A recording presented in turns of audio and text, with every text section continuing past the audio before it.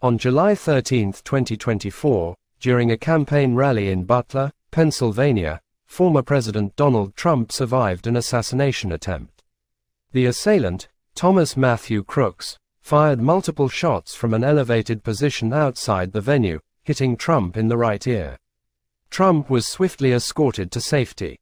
The attack resulted in the death of one audience member and injuries to at least two others.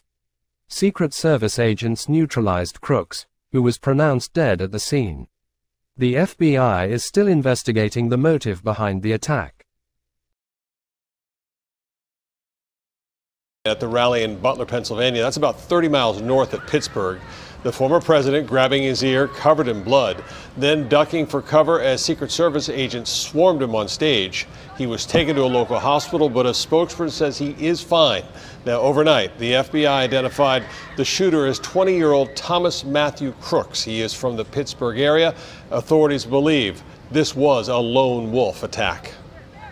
We do not currently have an identified motive, although our investigators are working tirelessly to attempt to identify what that motive. At the rally in Butler, Pennsylvania, that's about 30 miles north of Pittsburgh.